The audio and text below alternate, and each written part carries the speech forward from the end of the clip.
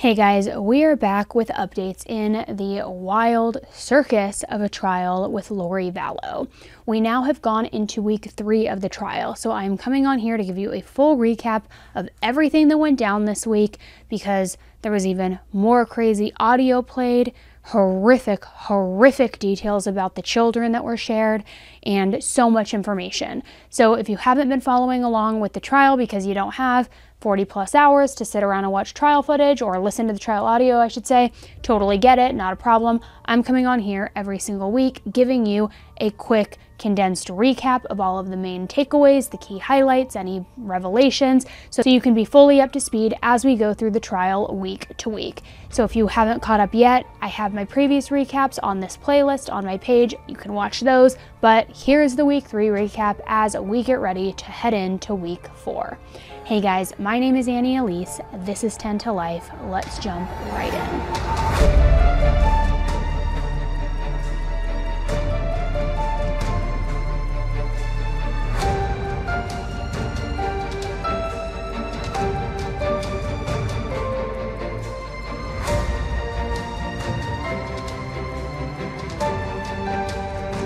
This is 10 to Life with Annie Elise. Detective Stubbs continued his testimony from last Thursday. He said that following the discovery of the children's bodies buried at Chad's house, another warrant was issued, this time to gather specific readings of the property in relation to cell phone pings. This warrant was executed in collaboration with the FBI, and it retrieved geological data from cell phones containing hundreds of thousands of records.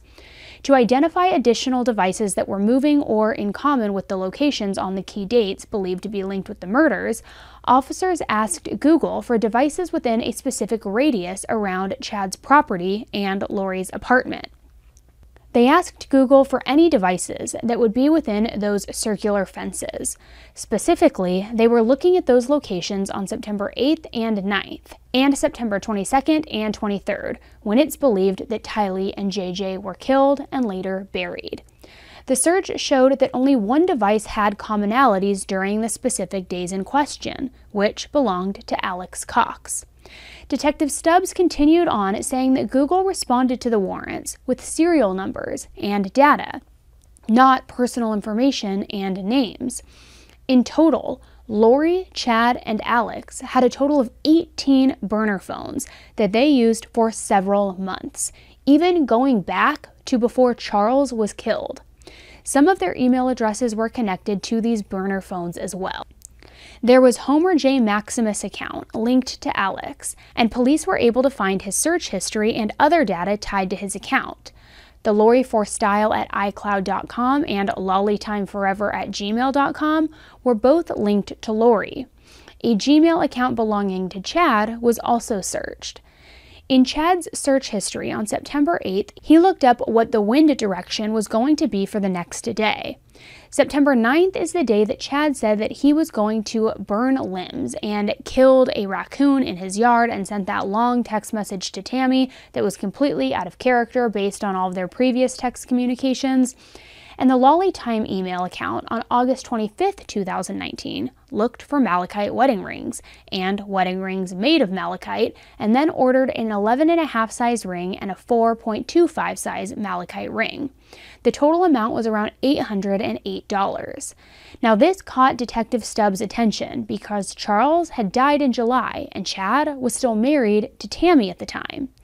He said, and I quote, We were thinking it was odd for her to be looking at wedding rings at that time. On September 30th, 2019, the account searched for possessed and how to remove the rear seat of my Jeep Wrangler. Then the account watched a YouTube video about how to remove the seat from the Jeep. This was days before Brandon Boudreaux was shot at by someone in the Jeep. In October, the account looked for wedding dresses in Kauai. Detective Stubbs also indicated that this was being looked at on the same day as Tammy's funeral. Literally zero remorse or acknowledgement of like real life as it stands. Also, on one of Lori's email accounts, they brought in the horrific and infamous Hawaii wedding photos, and they showed Chad and Lori hugging, Chad and Lori in a dance pose, the close up of the malachite rings, Chad and Lori gazing into each other's eyes, and Chad playing the ukulele while Lori does this Hawaiian dance. The last picture showed Chad holding Lori in his arms while they kiss, and the ocean is in the background. The jury was paying extremely close attention during all of this. The next witness called was Nicole Heidman, and she works for the FBI. She was asked to review some of the Google searches on Chad's Gmail account and the Lollytime account. She went through Chad's chaddaybell.com Gmail account and went through the dates from October 1st, 2018 through November 28th, 2019. On January 31st, 2019, Ned Schneider, Louisiana Obituary, 1997. Which I have to just say that's really weird because that's also the alias that um, Lori pinned on Charles as being possessed, if you remember correctly. On March 3rd, 2019, a search June 26 star sign are Cancer and Leo compatible. May 4th sign, Taurus and Leo compatible. Now, Taurus was Tammy's sign, and Cancer is Lori's, and Leo is Chad's. So he's like Googling if he's compatible with his wife or if he's compatible with his mistress and all of these things. On March 5th, 2019, Malachite, eBay, Malachite Jewelry. On June 1st, 2019, Hiplos. On July 9th, 2019, when you surprise someone with accusations. This was two days before Charles was killed. On September 8, 2019, SSW wind. What is the definition of SSW wind? On October 8, 2019, Rhode Island area code. Now, this will come in later, but one of the burner phones area code was a Rhode Island area code.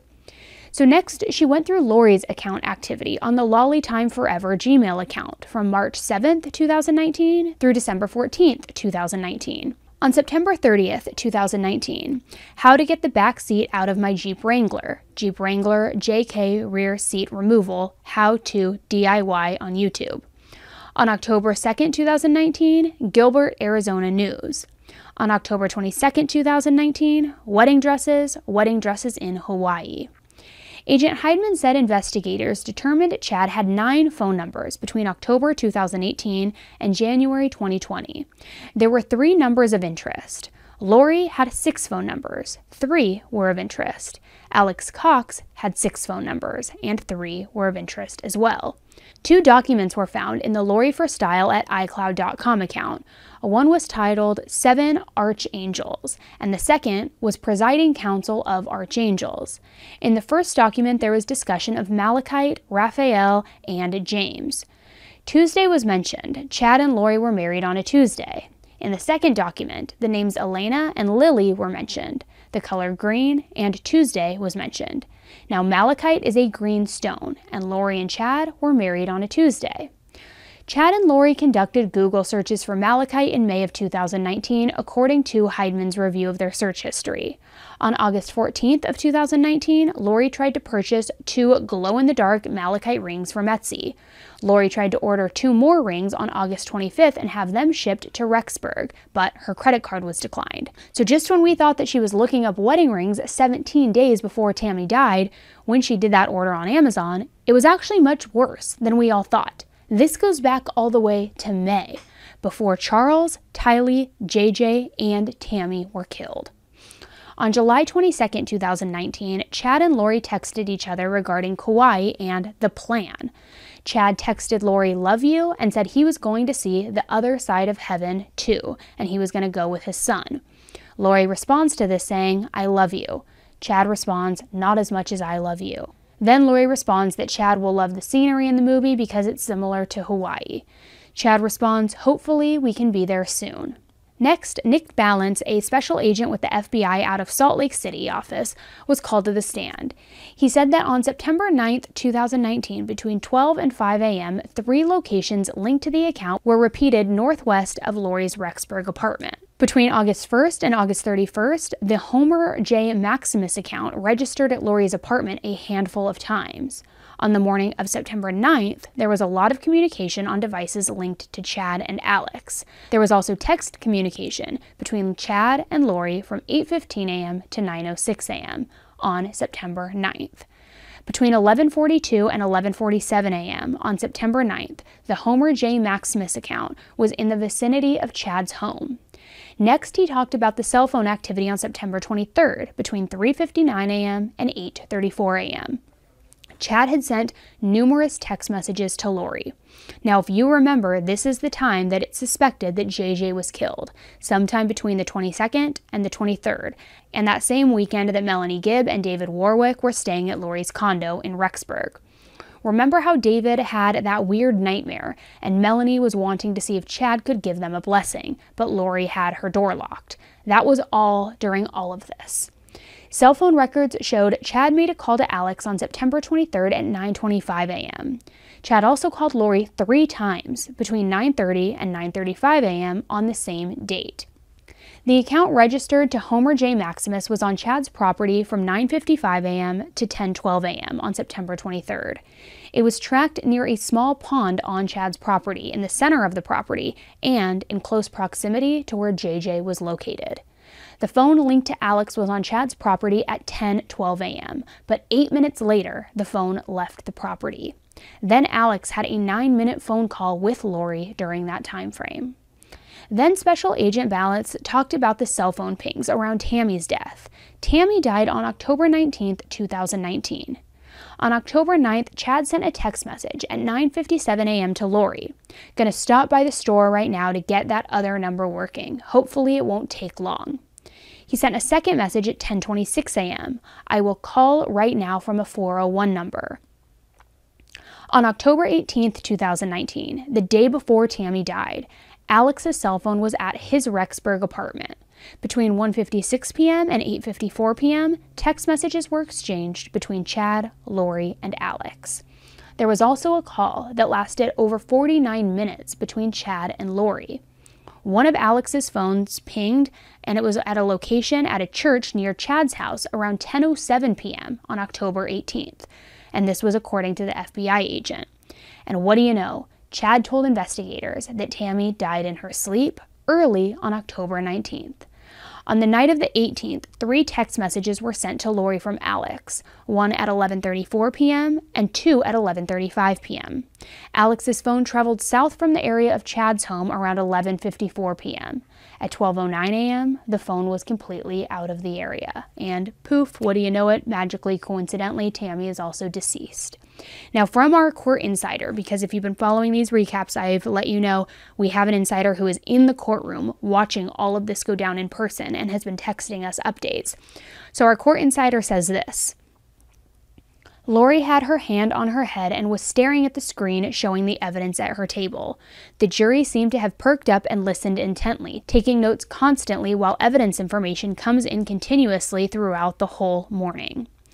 Then Summer Shiflet, Lori's younger sister, was called to the stand.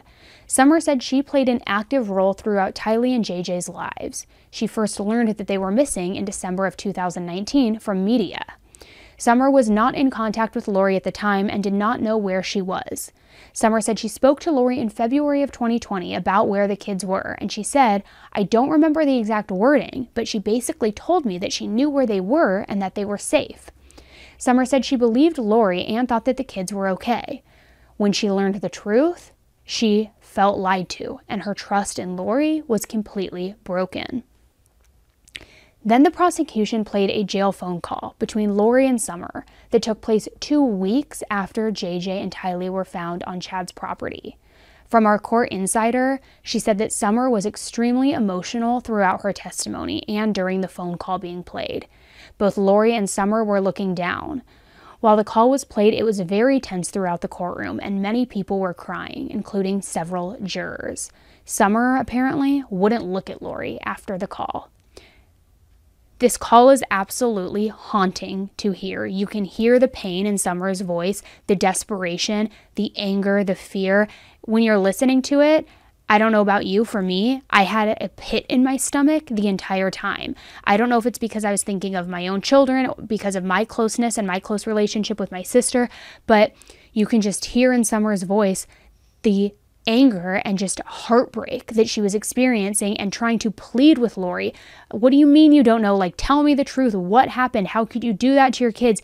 It is just truly a haunting call to listen to. I'm sorry. No. How are you? Not good. How are you? Not good.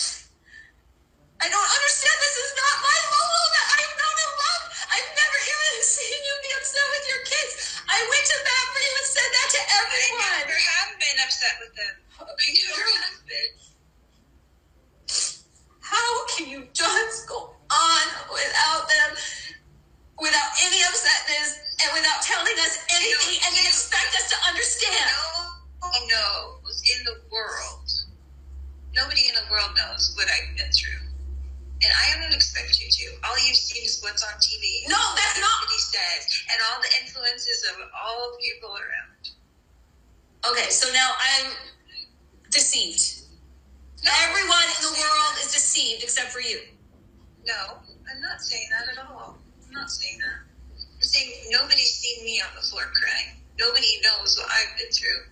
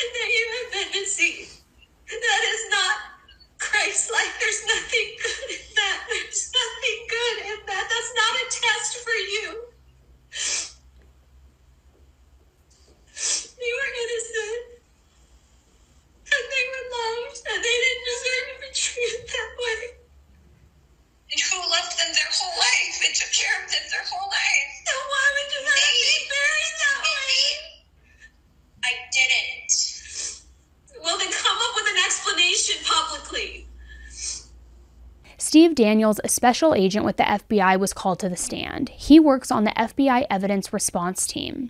That team was asked to come help with a search strategy to execute a search warrant on June 9th and 10th, 2020, at Chad's property. He said that 500 to 700 photos were taken on Chad's property the day that they served the search warrant. He went through numerous photos showing how the scene was processed. They began in the fire pit area, and dirt was sifted with rakes and shovels, as well as sifters with mesh screens. Bone fragments, organic material, and pieces of cloth and fabric were collected from the fire pit. He said that the smell of human decomposition was overpowering in this area. A necklace chain was found inside the fire pit and also processed as evidence. A silver charm was also found near the fire pit. In front of a dog statue at the pet cemetery, there were some disturbed areas where human remains could be found. Hand tools were used before a backhoe and tractor were brought in to help dig. They found a large bone, and Agent Daniel said, with the size of the bone being found, I could also smell an odor I could associate with human remains decomposing. So, between this bone being found and a second bone being found, we knew there was something here, but we didn't know if it was a human or an animal yet. The next picture shown was a bunch of bricks in the dirt, which ended up being Tylee's gravesite. At the time, police were not aware that this is where she was buried, but the odor continually got stronger and stronger. The next photo was a close up view of the pieces identified as Tylee. And he said, You can see the bigger bones sticking out of the ground. Her remains were melted together in the ground.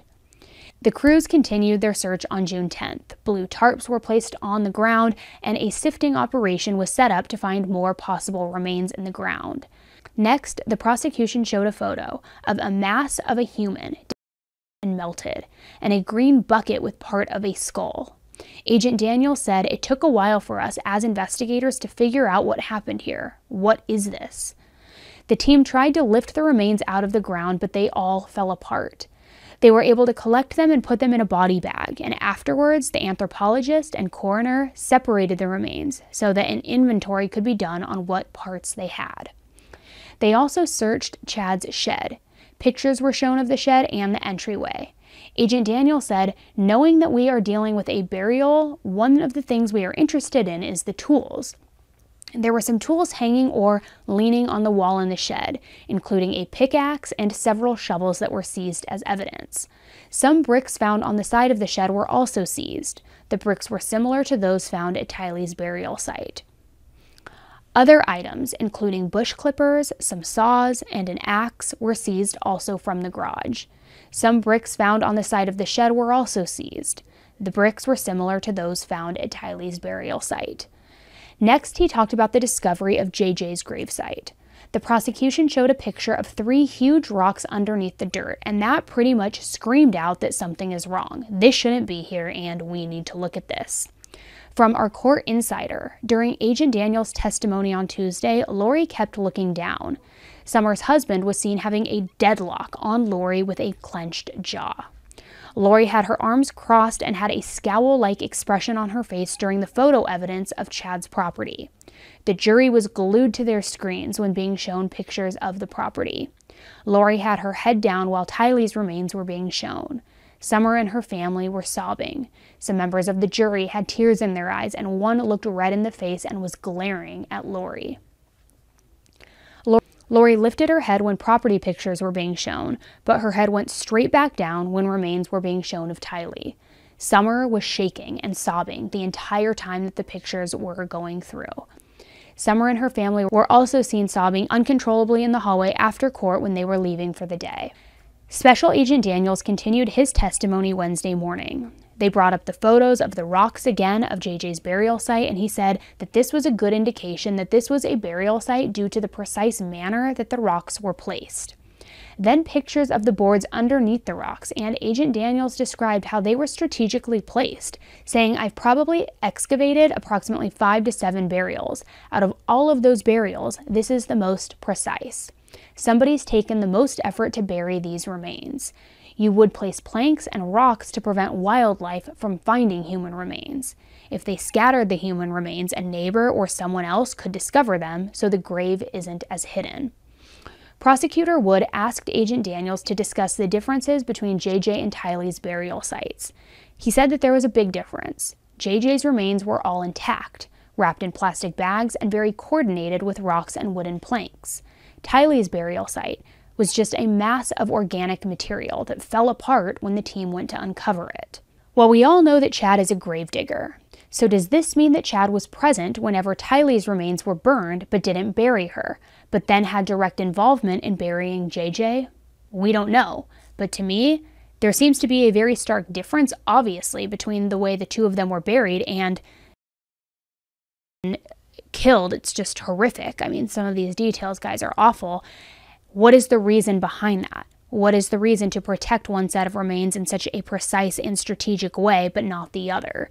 Is it because Alex is the one who got rid of Tylee's remains, and then Chad came in and he's the one who got rid of JJ's in a more expert manner because he was, quite literally, an expert in grave digging? What do you think? The next witness was Dr. Garth Warren, the forensic pathologist that conducted the autopsies on Tylee and JJ. His testimony was extremely graphic and disturbing, so just a heads up, but I'm going to play a few clips of his testimony for you to hear. Based on that particular autopsy and based upon your education, training, and experience, have you formed an expert opinion concerning the cause of death of J.J. Vallow? I have. What was that? I determined the cause of death to be asphyxia by plastic bag over the head and duct tape covering the mouth. And then there's another segment that's other significant conditions. Um, I put bound with duct tape, bruising of the arms, and abrasion to the neck. But ultimately, the, the cause of death was asphyxia uh, by plastic bag over the head, the head and duct tape over the mouth. When you commenced your autopsy of J.J. Vallow. Can you describe for the jury uh, what you initially observed? So initially, uh, the bag, the body came within a, a sealed body bag, um, and it's sealed uh, because we want to preserve evidence. It's just a way of us um, feeling confident that nobody's gotten into the bag or something's happened. So it's for evidence preservation. So we, we broke the seal on the bag and opened that bag up. And then we, um, the body was further uh, enclosed within a black plastic uh, tarp that was held together with multiple strips of duct tape. Um, and then we opened that up, and that was the first time that you could actually see the body right right from the beginning, um, there were some things that obviously jumped out. Uh, one, there was a, a, a white plastic bag over JJ's head, and it was uh, wrapped around the face multiple times with duct tape all the way down to the neck. Um, in addition, uh, the forearms and the hands were bound with duct tape, and the ankles were bound with duct tape. Uh, JJ was wearing red pajama tops, uh, red pajama bottoms, and black socks. Um, another thing that was quite obvious is the body was in a state of decomposition. Um, there was decomposition fluid and dirt and mold on the pajama uh, tops and bottoms. Um, you could you could tell even with the clothing on um, that the body was in a state of decomposition by the color of the skin. And at that point, uh, we essentially took photographs, documented how the body was received, uh, and then we proceeded. Okay. Um, so you mentioned you took photographs and documented how the body was received. Uh, did you then conduct an external examination? Yes. Uh, what steps did you take in your external examination? So for the external examination, I guess backing up a little bit, um, with everything that was on the body, the clothing, the duct tape, the bag over the head, um, at that point, w- we started gathering our evidence. Um, so what we did is we took the pajama tops and bottoms off, and we uh, submitted that to law enforcement. We submitted the socks to law enforcement. Uh, the bag over the head with the duct tape, uh, we made a single cut, removed it carefully, and we submitted that to law enforcement. Uh, with the duct tape around the arms, we made a single cut, unfolded that carefully, submitted that to law enforcement, and we also submitted the duct tape around the ankles. In addition to that evidence, we also did fingernail swabs uh, for evidence. We did hand swabs. Uh, the fingernails actually were uh, easily came off because of the state of decomposition, so we ended up just submitting all of the nails uh, for evidence. Um, and then in addition to that, we we took pulled head hair, uh, a, a portion of the rib, and that was actually done during the autopsy, and two molars uh, from JJ for DNA purposes. Bone, uh, the ribs, and the molars are a good source of DNA, and we, we kind of figured that DNA may be important in this case. Uh, so that was all the evidence that, that we got and submitted to law enforcement. And then as far as the external examination goes, like I said before, uh, I do an examination from, from head to toe. Uh, and as I stated before, one thing that was obvious was the body was in a state of decomposition. The head took on a green discoloration, neck. Um, other parts of the body had a light brown, leathery appearance. Um, that is consistent with decomposition. Uh, there, there's fairly extensive skin slippage uh, throughout the body, uh, including partial degloving or skin falling off of the hands and the feet. And that was um, essentially what I found. Uh, I also found some injuries um, that jumped out. Um, one injury was a scratch. Uh, appeared to be there were abrasions. It appeared to be scratch-like abrasions on the left side of the neck. Um, and angle. Doctor, if I can ask you, why was that significant to you? Uh, that was significant to me um, in, in a case like this, uh, considering the way he was found. Um, if there's any kind of injuries to the neck, um, you know, it's it's a it's a it's a red flag. Uh, do I know exactly what it means? Uh, no, but I think some of the things that come to mind are, you know, did you know, was JJ trying to get the bag off his head? And could they be scratch marks trying to get the bag off of his head? Um, you know, I, again, I wasn't there. I don't know exactly what happened, but those are the types of things that go through my my head. Um, there are additional injuries, including bruising of both upper arms, symmetrical bruising on the right upper arm and left upper arm. And there's also a uh, diffuse hemorrhage on the underlying the right thumbnail. There, there were also other areas that were uh, concerning or suspicious for injuries uh, that looked like bruising. Uh, it, there were areas on the ankles that looked like bruising that may have been associated with the duct tape.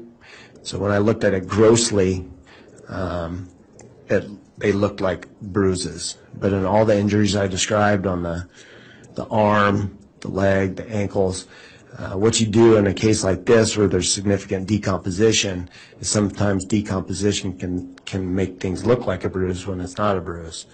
Uh, so we, we took incisions on the body in multiple areas that were concerning for bruising.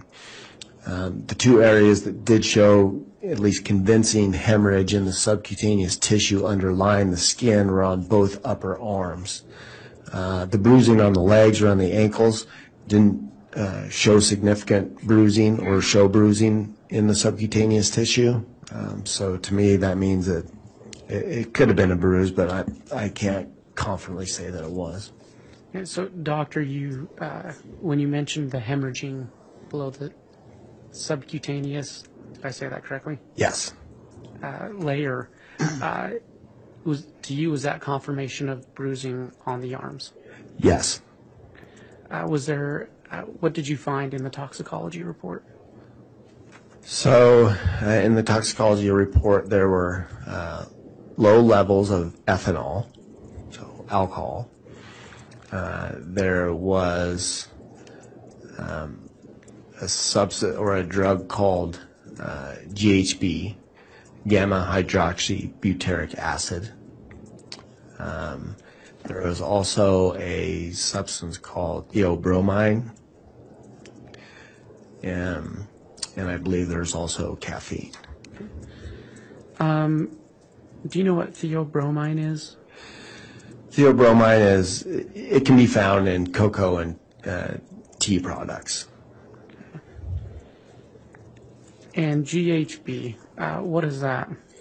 So GHB, uh, gamma hydroxybutyric acid, it, it's a, a drug, or one, it can be a drug, and it can be used for medicinal purposes or recreationally. Uh, for medicinal purposes, sometimes it can be used for narcolepsy. I think at one point in time it was used as a possible anesthetic um, or for anesthesiology.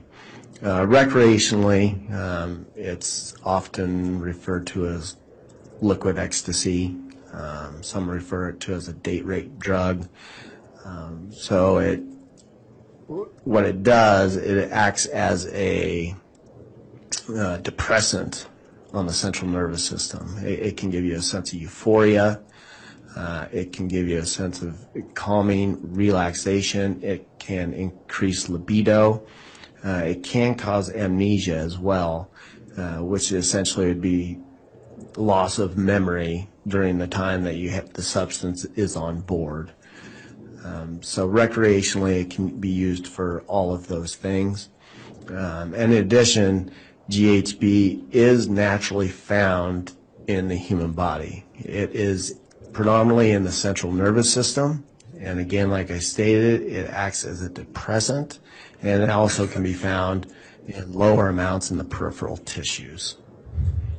Okay, and were the amounts of GHB, how would you characterize the amount of GHB found in JJ Vallow? The best way to uh, describe it is inconclusive. Uh, so GHB was found. So we know through literature, the medical literature, that GHB can be found in tissues, including liver, uh, post-mortem.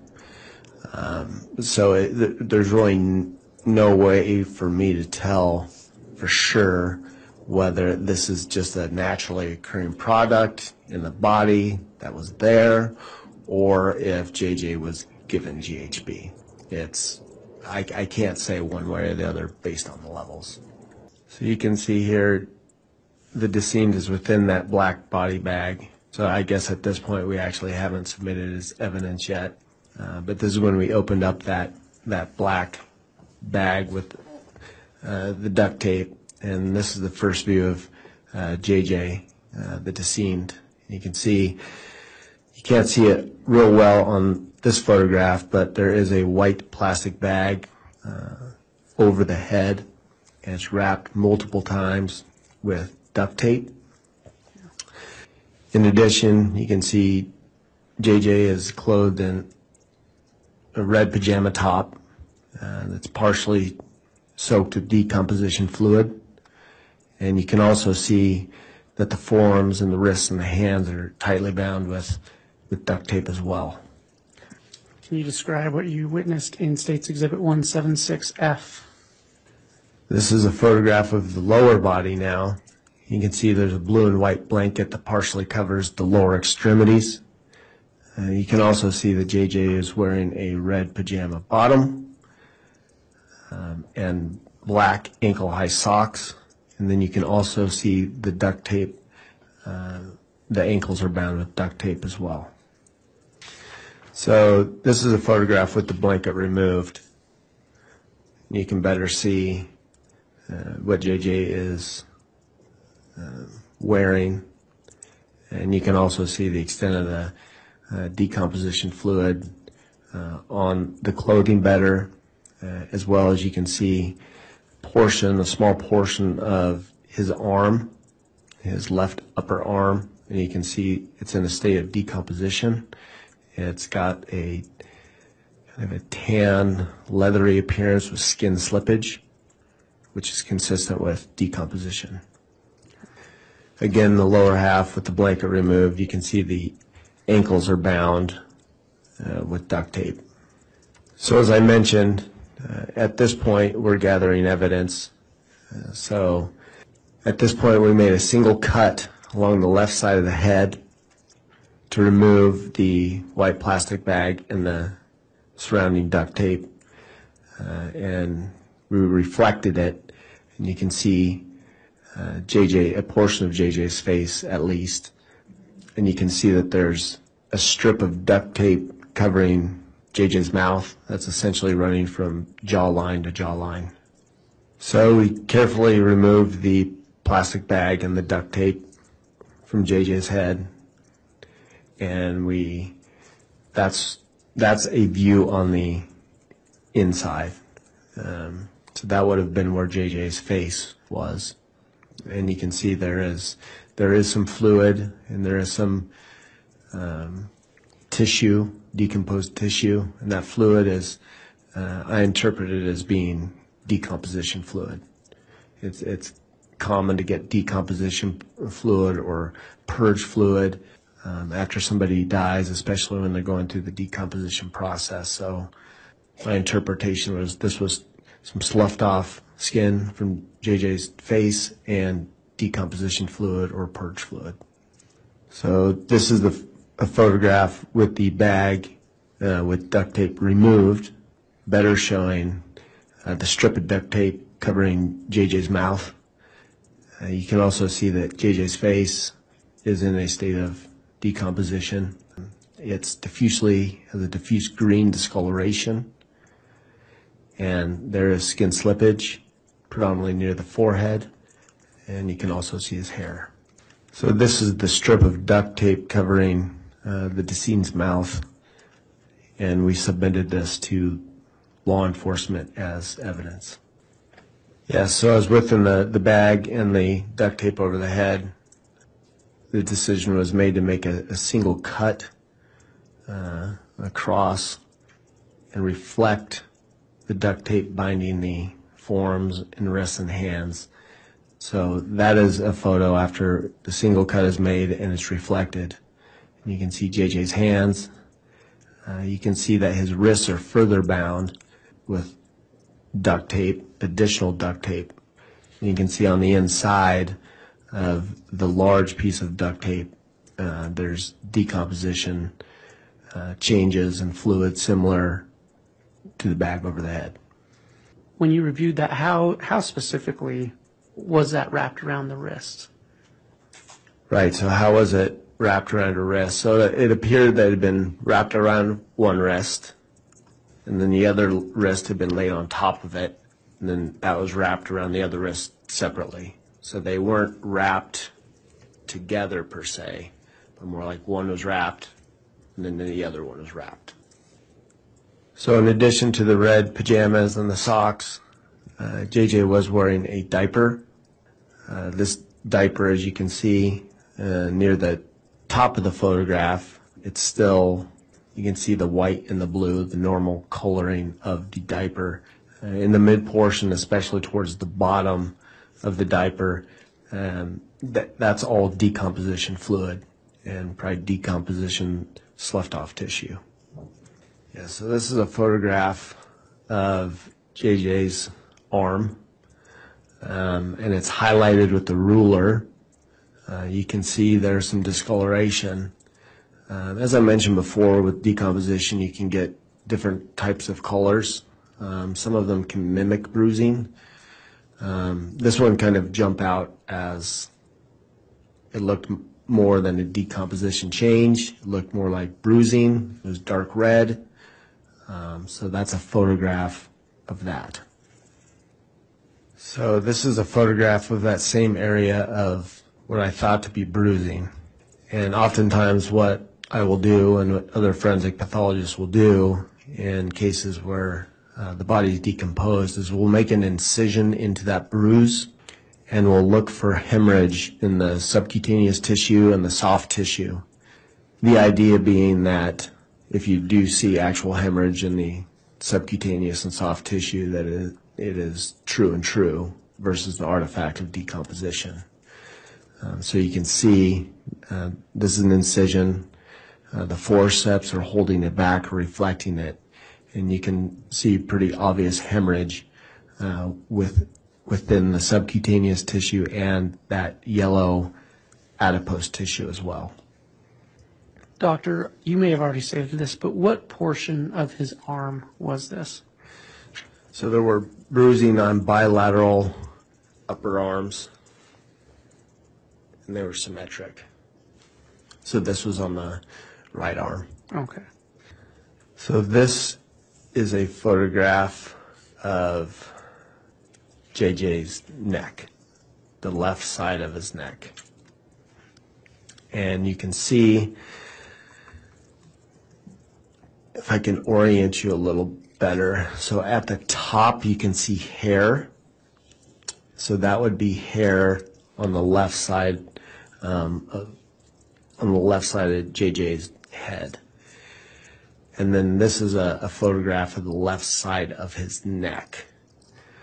So there's a couple things you can see. One, you can see a slight or faint impression of where the duct tape was around the neck.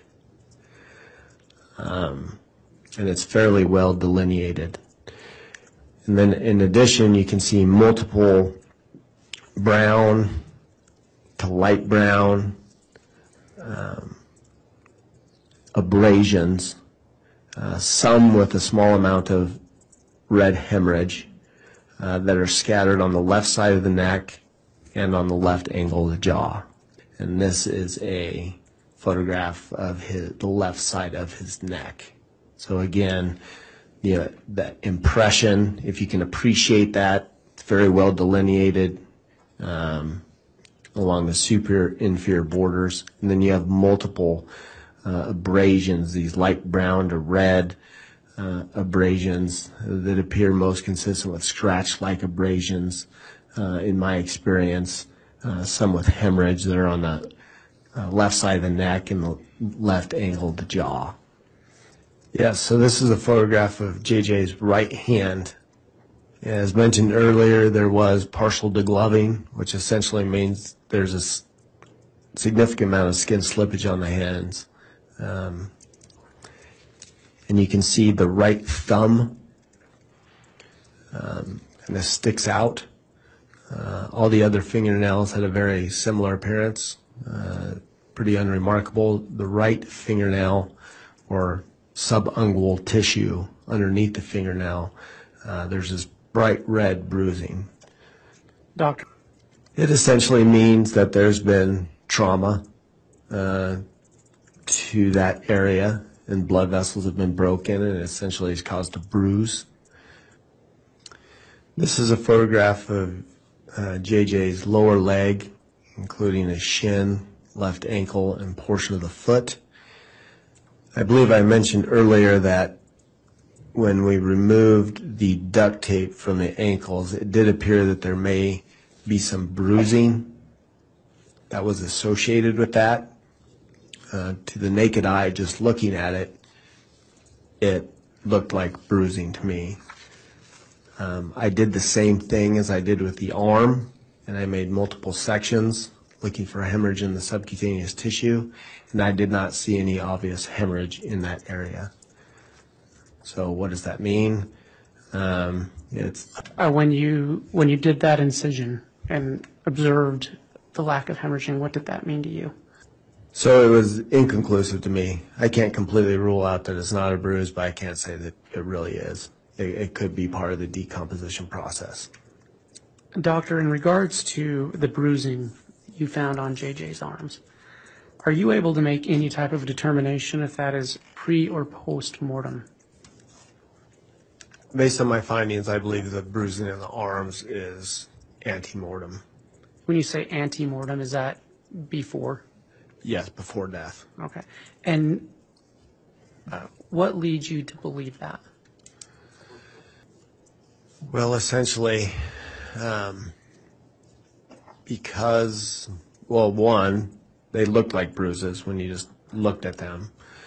And then two, when I made the incisions and there was hemorrhage um, in the soft tissues and subcutaneous tissue, um, it, it definitely uh, suggests that it was antemortem. Uh, when somebody dies, um, there's no longer circulation.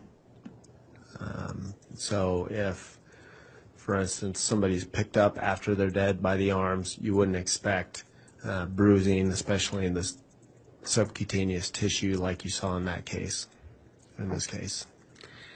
And then in the area of the neck where you described uh, the abrasions, I believe, at,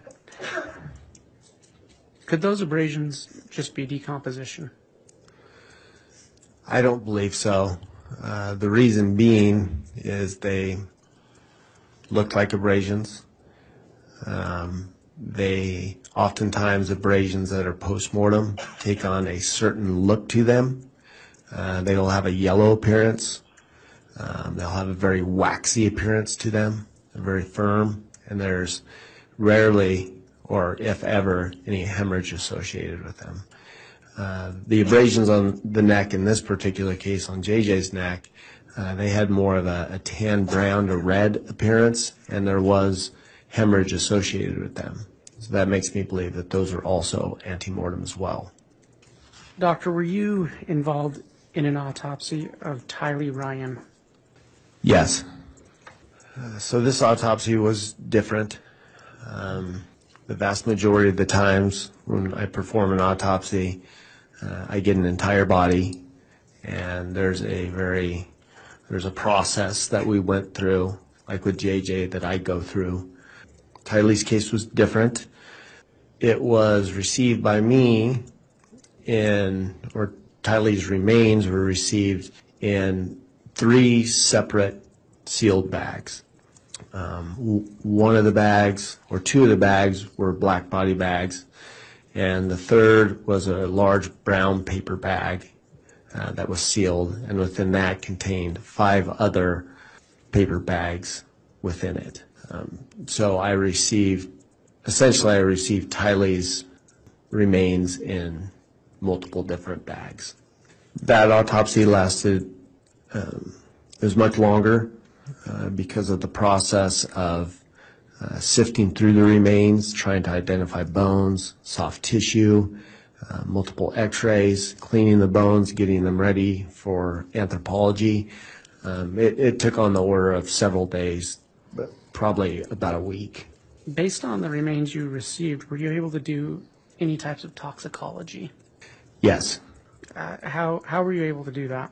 So in this case, um, with the remains, uh, there was no blood to send, there was no urine, no vitreous fluid. So one sample that can be used for toxicology is skeletal muscle.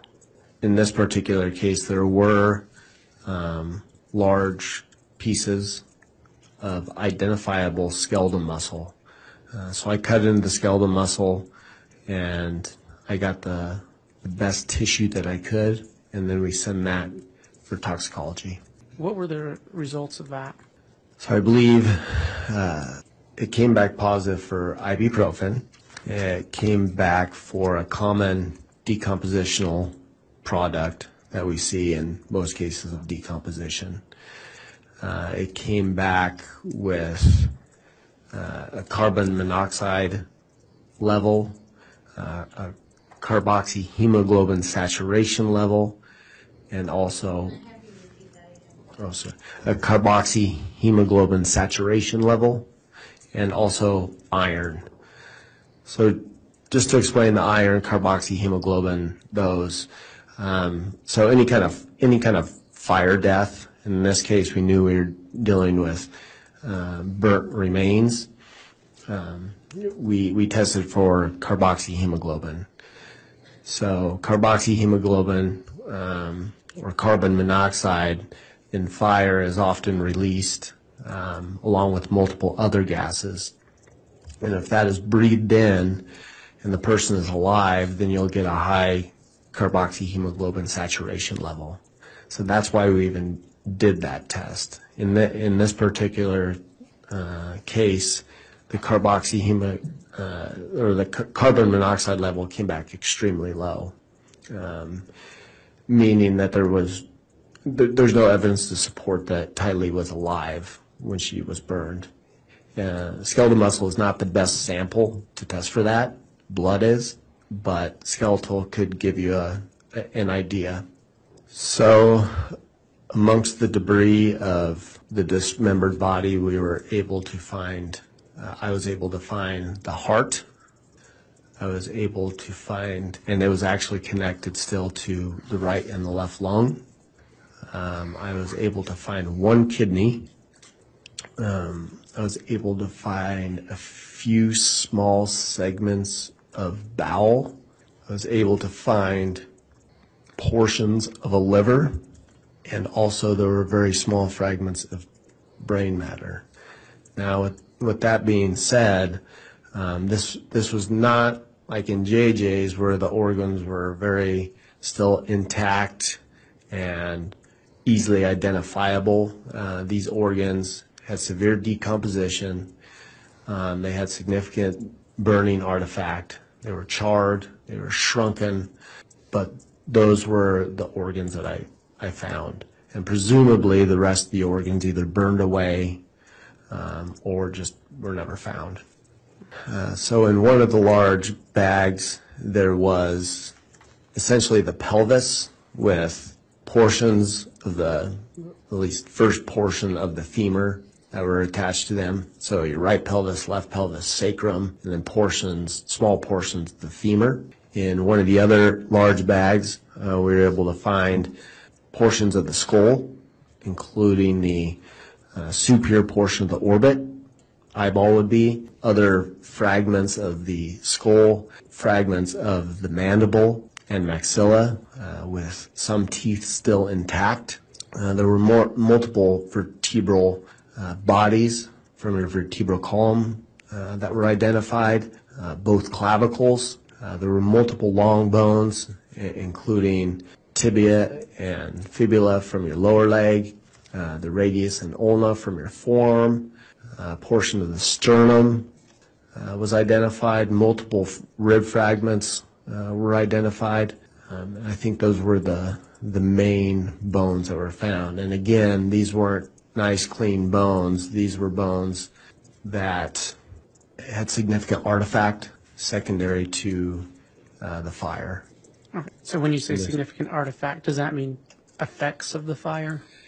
Yes, they're signi- they're blackened and charred, uh, and also um, it was presumed that some of it, some of it, the artifact was due to the dismembering process as well.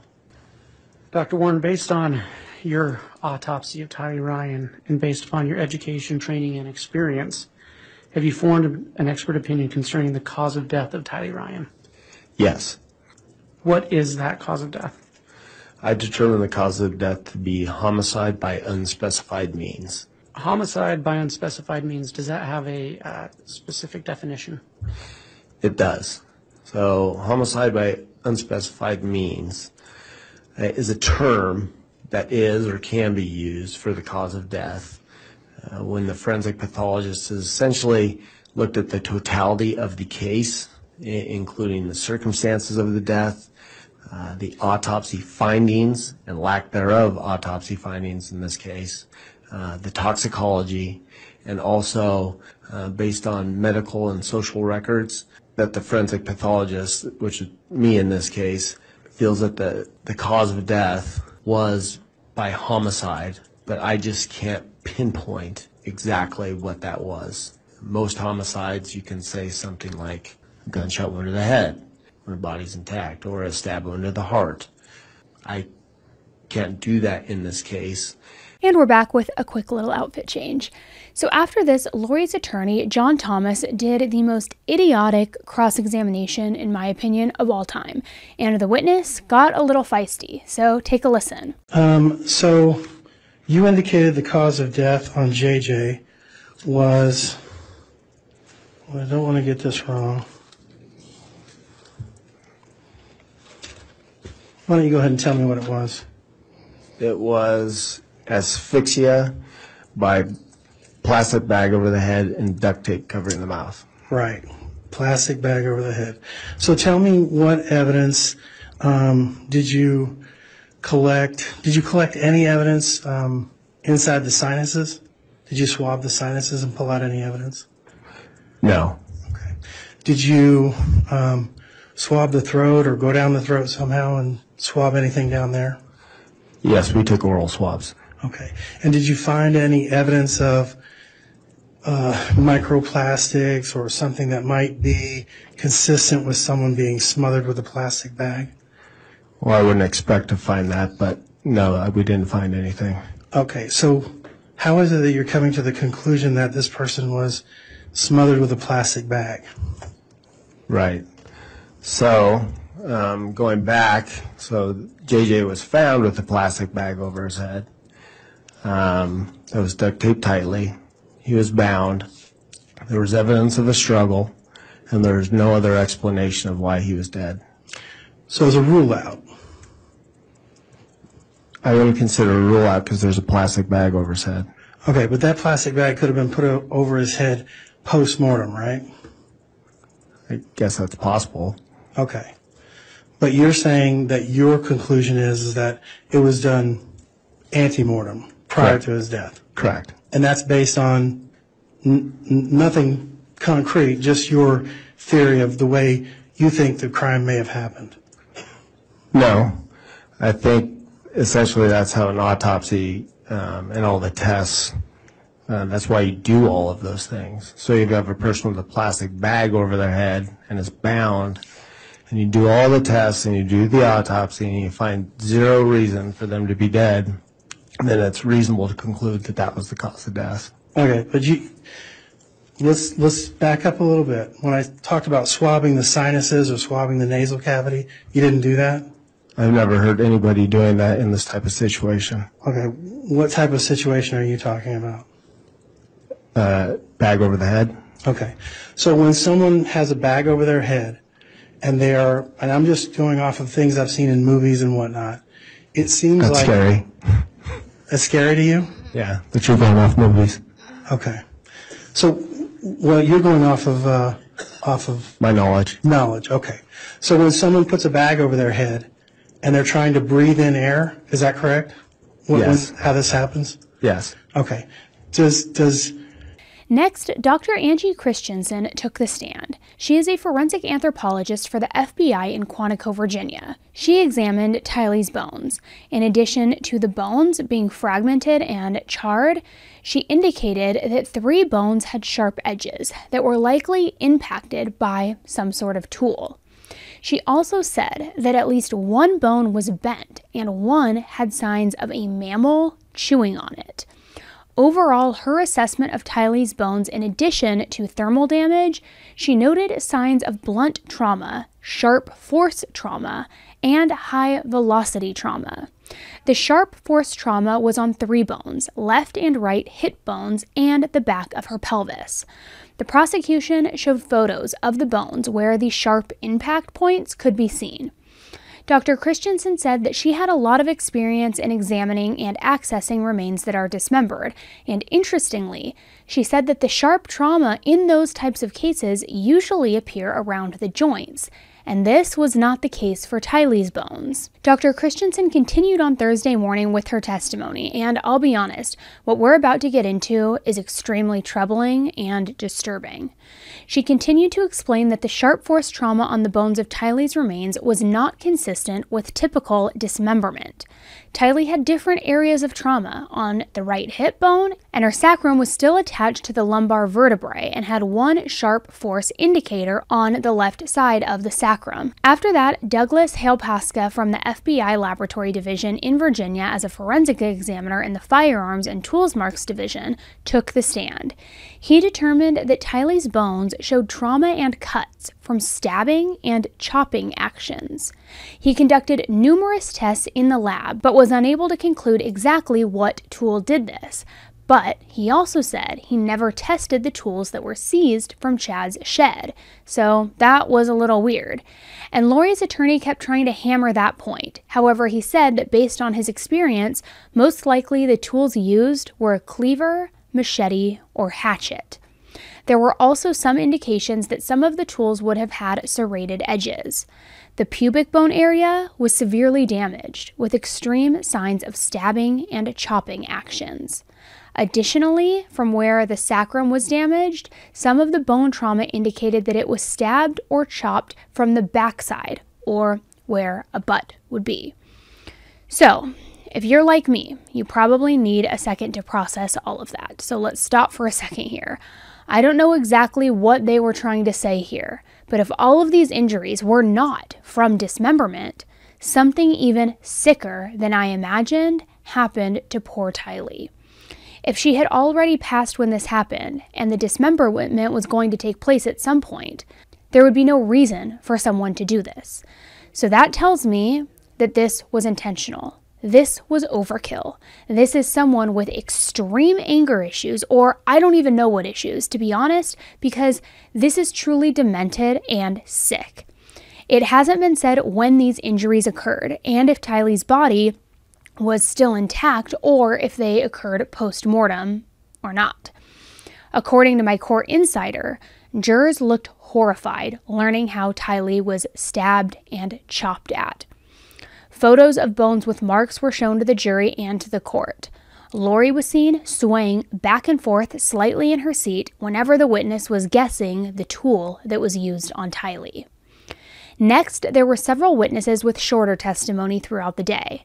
In summary, it was confirmed that gasoline was used as an accelerant to burn Tylee's remains.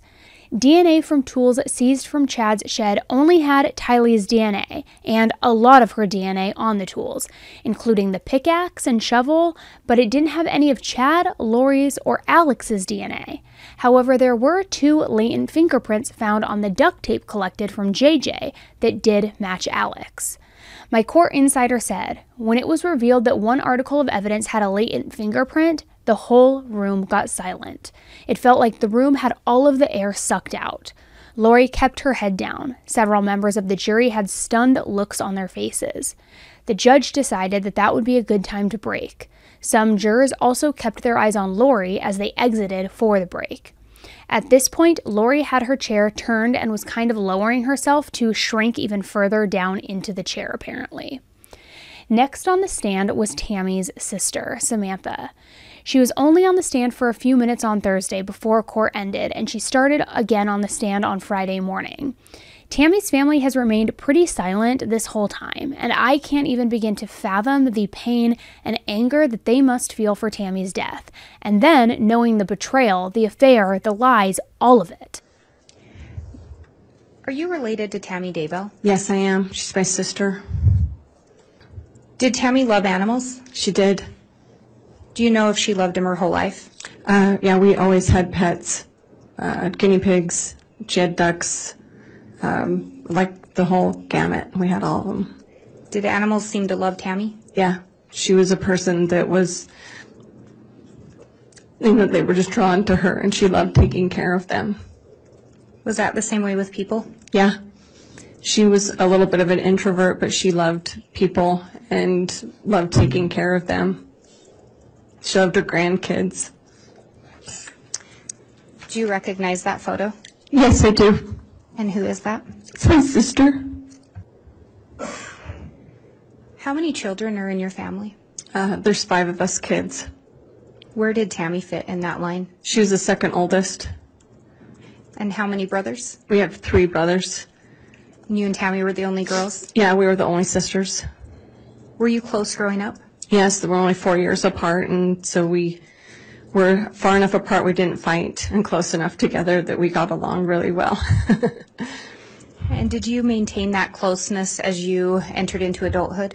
Uh, yes, we uh, talked every day and saw each other every day, and we did um, everything together with our children. And do you recall when Tammy started dating Chad Daybell? Yeah, I do. Did you know him from before? Uh, yes, his family lives in our hometown, and so I went to school with his brothers. Um, he was older than me. He was the same age as my oldest brother, so he was not one that I hung around with, but I knew him.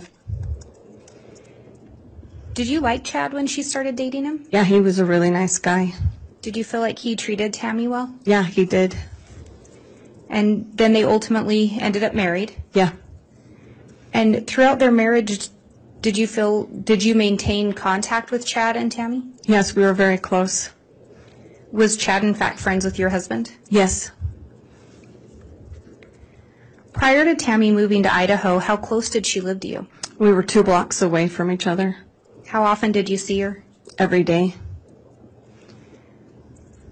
Do you know how many kids Tammy and Chad have together? Yeah, five. And you mentioned earlier Tammy's also a grandmother? Yes. Did Tammy want to move to Idaho? Um, at first, no. Uh, she doesn't like change, and all of her family was there. So uh, in in Springville, so it was uh, not something she wanted to do at first. Do you know whose idea it was for them to move? It was Chad's. Did Tammy work prior to moving to Idaho? Yes, she did. What did she do for work? Um, at the time that they moved, she was the special ed secretary at the high school. And previous to that, she worked at the elementary school as the computer teacher. Was she good with computers? Oh, she was amazing with them. She was the go-to person? She was the go-to person if any of us had a question about something that she could answer it, and she would pick up, up any new software and could figure it out. Uh, she was self-taught and was very smart. And the two jobs you mentioned, she worked closely with children? Yes, she did. When they first got married, do you know what Chad did for work? Um, he was working for the Springville City Cemetery um, for the Parks Department. He was uh, part of the cemetery upkeep crew. They helped prepare um, all the graves and they took care of the cemetery, you know, upkeep. Was he also involved in ever digging graves that you know of? Uh, yeah, that was part of their job, is that they would dig all the graves that came through for any of the burials at the cemetery. Eventually, um, he came back and was the sexton at that cemetery, at that Springville. Uh, it was at the Evergreen Cemetery in Springville. And then eventually he was a sexton at the Spanish Fork Cemetery. How did you find out about your sister's passing? Chad called me the morning that she passed away. Do you recall what he told you? Um, he told me that she had been really sick and that um, she'd been coughing all night, and um, she'd gone, had gotten up and with a coughing fit around midnight, one o'clock, and had gone back to sleep. And he was awakened by her that morning when she rolled out of bed dead. Did that make any sense to you? No, because I had just seen her two weeks previous to that, and she hadn't been that. She wasn't that sick at all. She was very healthy. Did she indicate to you any activities that she was participating in? Yeah, uh, she was in a clogging class, and she was showing us um, some of her clogging moves, but she was also preparing to run um, a you know smaller race in their town. So she was trying to stay fit uh, and healthy. And how old was she? She wasn't 50 yet. We were going to get ready to celebrate her 50th birthday. When she came to visit in October, was that a normal visit? No, it was out of the blue. Did anyone come with her? No, she came by herself, and that was unusual because Tammy didn't like to travel alone. Did she tell you why she came down to visit? Um, Chad told her that she needed to come visit her family. After Tammy's death, Chad planned the funeral, but Samantha immediately noticed something was off.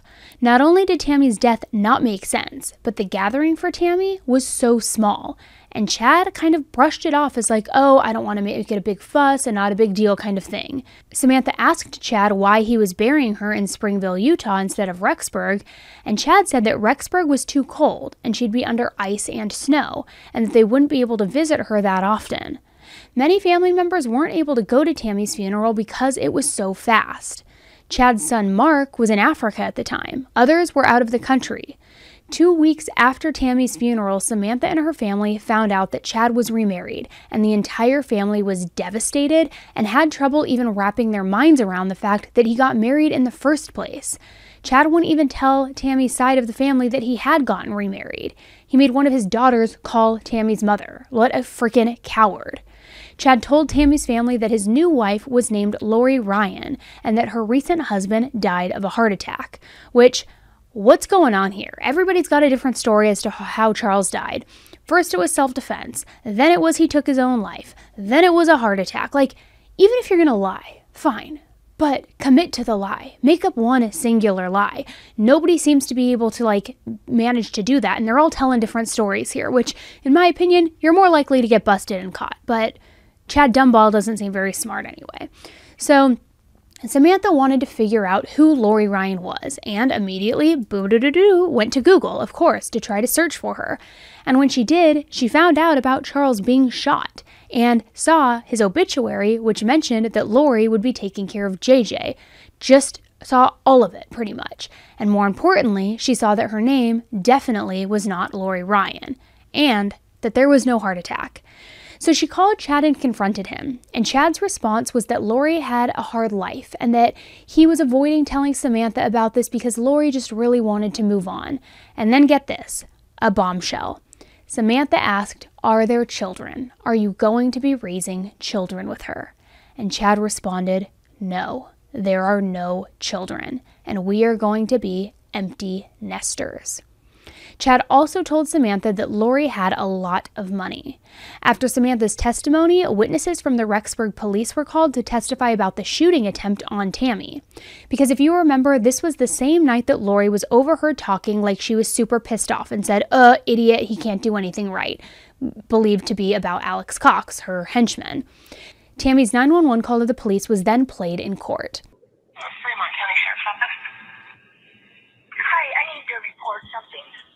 Go ahead. What's the address? Okay, um, at 202 North, 1900 East. Sorry, this is a little awkward. And Debbie, did you recognize your voice? The corner with the blinking yellow light on Salem Highway. Is it a suspicious person? Yes. Okay, what was he wearing? He was all dressed in black and he had a ski mask on. And he said the blinking light now is where you saw him? No, no, I'm, when I, he's gone now because um, I pulled up into our driveway and he I was getting stuff out of the back seat of my car, and suddenly he was there, and he had a paintball gun, and he was Okay. and like he was going to shoot at me. And I kept asking him what he was doing because I could tell it was a paintball thing. And then he just kept doing it, so I yelled for my husband, and then he took off running around the back of my house. Okay, give me just one minute. Stay on the line with me. Okay. October 9, 2019. 21 hours, 50 minutes, 28 seconds. That was North 1900 East. Yes.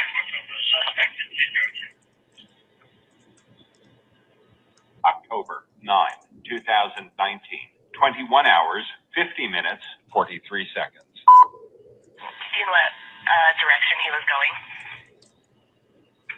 Um, he, went, uh, he just he went behind my house, and it's so dark out here, and I just went in the house and got my husband and son, and then they went out and looked, and he was long gone by then. So he was on the north side of my house, is where he went to get away. Okay. He didn't say anything, or he just kept act like he was holding the gun, like he was, you know, had a rifle and just shooting at me. So, but nothing came out of the gun either, so I don't think it was loaded. Okay, and what is your name, ma'am? was just, my name is Tammy Daybell. Okay, I will pass your information on to my deputies. Um, we actually just had a previous call about this individual, so they're out in the area looking now. Okay, yeah, I think it was my son-in-law who lives diagonal from us that called you guys already. Oh, And we just wanted to make sure it got reported. So, um, let's see. And what's your son-in-law's name? Joseph Murray. Okay, yep, it was him. Okay. So, all right, I have a deputy that will be out at your home here shortly. The 911 call after Tammy's death was also played, and you can hear Chad on the phone. Now, when this was played, Lori was smirking in court.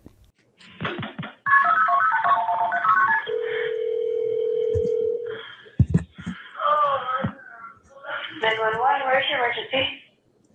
We're at 202 North, 1900 East.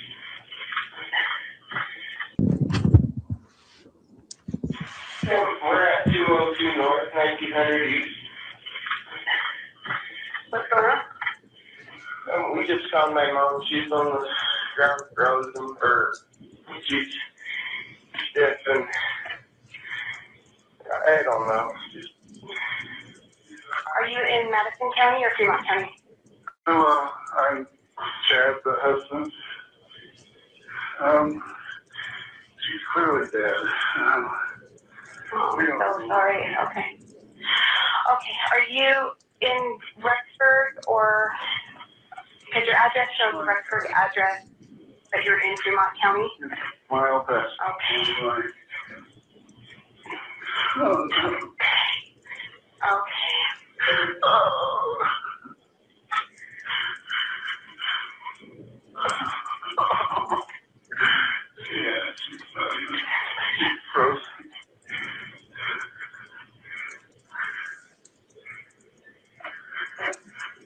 can I get your name? Chad. Oh okay, Chad, I'm gonna get somebody up to you right now. Okay. You know the corner where the blinking yellow light is from the red house?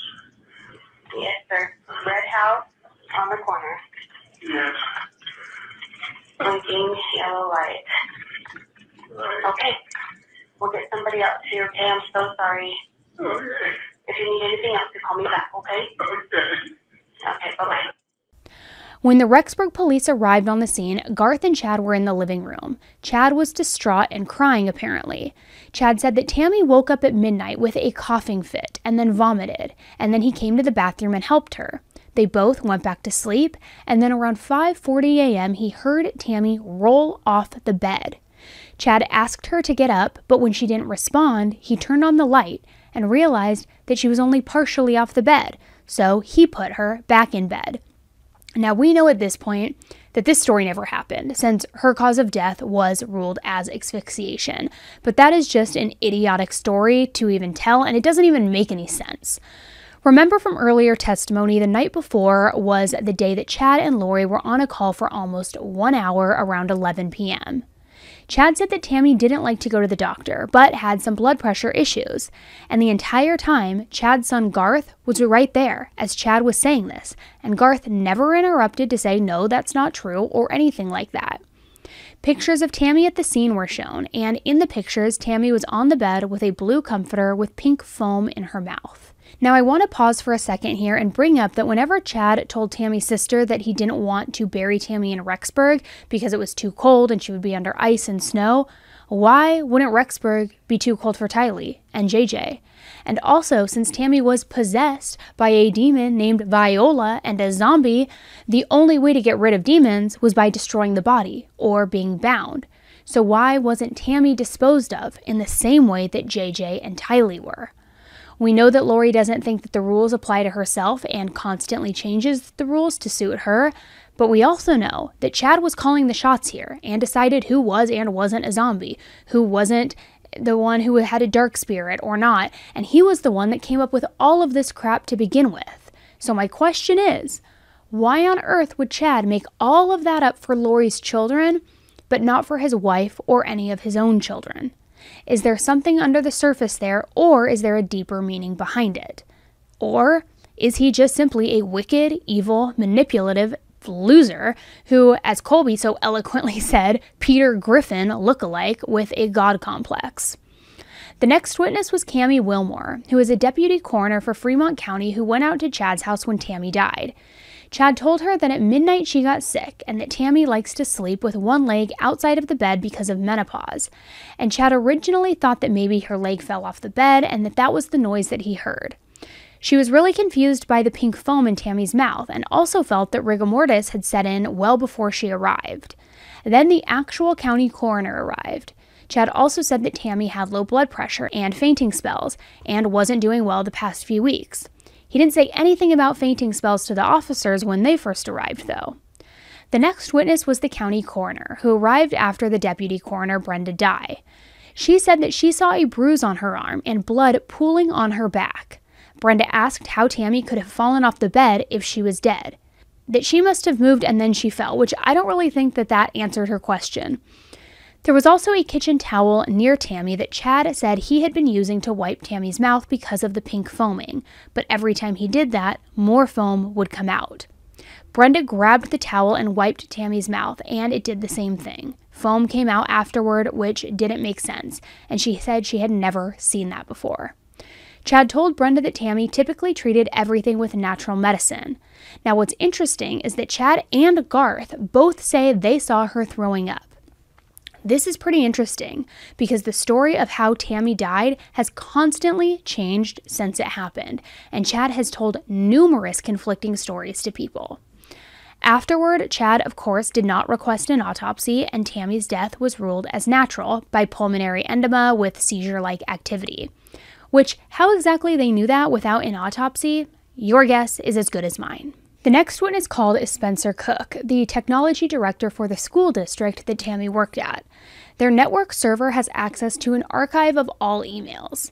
He was asked by Fremont County to look through Tammy's email to see if there was the email from Charles that he sent right before he was killed in July of 2019. Tammy was extremely active in her emails, even though it was summertime. When he reviewed the email activity for June 29, 2019, the day that Charles sent Tammy the email with the subject, Your Husband and My Wife, there were several emails deleted and one saved. The email that Charles sent was deleted, and his email address was blocked in her email. His email was the only email listed in Tammy's account under the blocked section. So, did she read it? I guess there's a chance that she just deleted it without opening it, but I would absolutely click on an email with that subject. I think most people would do the same. Combining that with the fact that she went out of her way to block that email makes me believe that she did read it, or maybe that Chad intercepted it, and so he blocked Charles to make sure he couldn't get any future emails. And then that was the day he had to die because he was like in, in inserting himself into he and Tammy's marriage. But that's all the technology director said before being released from the witness stand. So did she read it or not? Let me know what you guys think. So that's basically where we wrapped up for this week of the Lori Vallow trial. Now, here we go. I have some exciting information to share to you. Well, exciting, yes. I don't know for you. You tell me. I'm doing these recaps obviously week to week. There is a court insider who we have been communicating with who has been giving us real time updates. However, as of last night, we made the official decision. We are sending a member from the 10 to Life team to the courthouse, to the courtroom, who will be there firsthand watching this all go down and bringing you the updates. So, those updates are going to actually be posted. I don't do Twitter, I just don't really know how. So, what we're going to do is we are going to be providing you real time updates all next week with um, the highlights through my Instagram stories. So, instead of a tweet, it'll just go on my Instagram story after one after another throughout the day, every day. So if you're not following along there, make sure you do so. It's at underscore Annie Elise, and those updates will go out literally a bunch a day as if it's a Twitter feed. And then I, of course, will still come on at the end of the week and give you the full comprehensive overview of the week in case you didn't get a chance to see those stories in real time, where we'll recap the trial, of course, week to week. So, that's all I got for you today. That's where we're at with Looney Tune Vallow. And um, this woman is just a monster. I hope she rots. I hope she her defense crumbles. I hope nobody believes it. I hope she can't pull the brainwash card. This woman is truly a monster and the most evil mother in the world. And after hearing these horrific, horrific new details about Tylee and JJ, what human being could do that, let alone a mother to her own children? It is sick. And then you layer on top of that that she's just sitting there in the courtroom, smirking with her dumb face, thinking she's a pageant star. It is sick, vile, twisted, disgusting. I hate her. I'm getting rowdy because it's Friday and I've got a lot of thoughts. I've got a lot of feelings. All right, guys, thanks so much for tuning in. I will keep you guys posted as this trial and circus freak show continues to unravel. And make sure that you check out Instagram all next week because our 10 to Life reporter, researcher, extraordinaire will be there in the courthouse documenting everything in real time. All right, guys, thanks again. And until the next one, stay safe. Bye.